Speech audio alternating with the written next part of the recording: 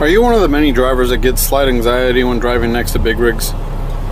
Well, let me put some of your worries there at ease.